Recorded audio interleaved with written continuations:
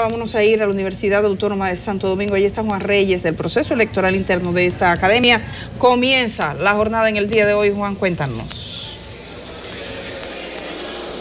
Gracias, así es. Buenos días amigos de Enfoque Matinal. Como dicen, ya se inició el proceso de votación para escoger las nuevas autoridades de la Universidad Autónoma Santo Domingo.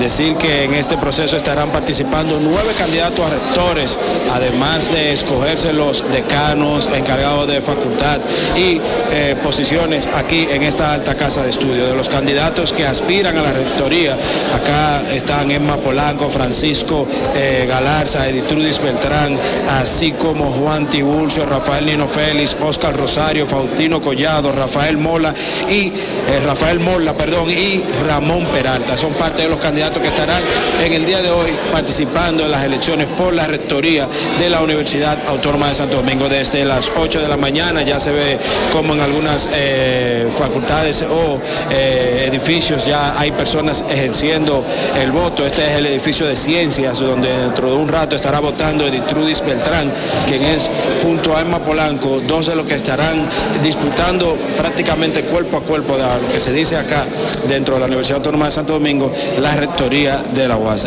En este proceso estarán participando 2.867 votantes que están divididos de la siguiente manera, 2.654 profesores, 53 ayudantes de profesores, 103 delegados, 133 delegados de estudiantes y 27 delegados administrativos, lo que componen un total de 2.867 eh, personas hábiles para votar, para escoger el nuevo rector o rectora de la Universidad Autónoma de Santo Domingo. Aquí podemos ver, Daniel, cómo se ve al fondo en el pasillo también, cómo se está haciendo fila algunos miembros, entre estos profesores, como ya mencionamos, administrativos, estudiantes, que están hábiles para votar. Está todo eh, eh, diseminado. Vamos a tratar de ver por aquí cómo eh, se ve el proceso. Las personas vienen, muestran su documentación, que están acreditados, están en el padrón, son debidamente revisados por los delegados de los aspirantes van al podio y posteriormente que marcan su voto, vienen y lo depositan en la urna.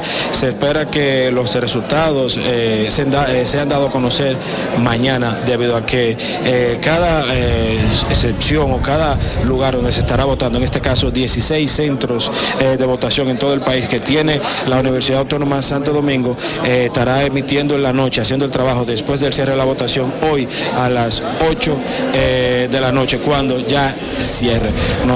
Vamos a continuar dándole seguimiento a este proceso de votación para escoger las nuevas autoridades de la Universidad Autónoma de Santo Domingo, que como dije, ya eh, hay nueve candidatos rectores y así como también se van a estar escogiendo los decanos y los jefes de facultad en esta casa de estudio. Nosotros continuaremos en esta cobertura más adelante, tendremos más detalles sobre este proceso.